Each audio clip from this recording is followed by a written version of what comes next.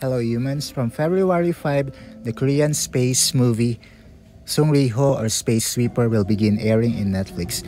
Here, we will see an orange taxi with the advertisement of the movie. And these are five things that you need to know about the movie. First, director Jo Sung-hee had an idea about space junk sweepers from his friend more than a decade ago. Second, the actors Song Joong-ki and Kim Tae-ri readily agreed to star in the movie even before reading the script. Third, this is actor Song's first movie since his divorce with actress Song Hye Kyo. Fourth, Yoo Hae Jin stars as a wide-eyed humanoid robot and he said that acting as a robot wasn't easy.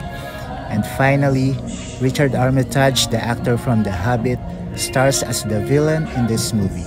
So guys, if you have Netflix, please go check it out. Space Sweeper. Thanks, bye.